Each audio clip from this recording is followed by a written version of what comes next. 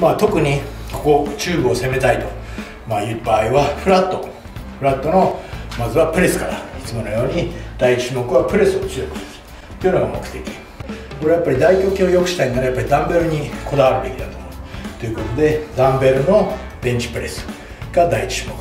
膝とダンベル乗せたままくっつけたまま後ろに寝てスターポジションに入ると。このままグンと下がってにスタートポジション入る。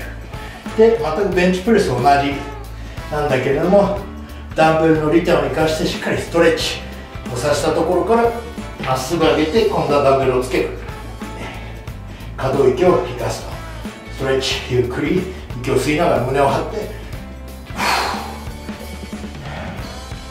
こ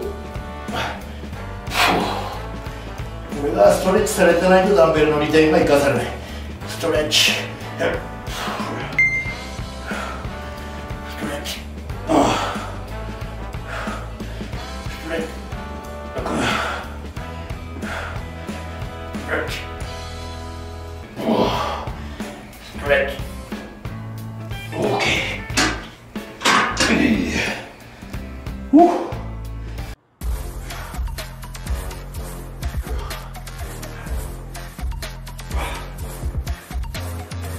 サブスクライブもよろしくお願いします。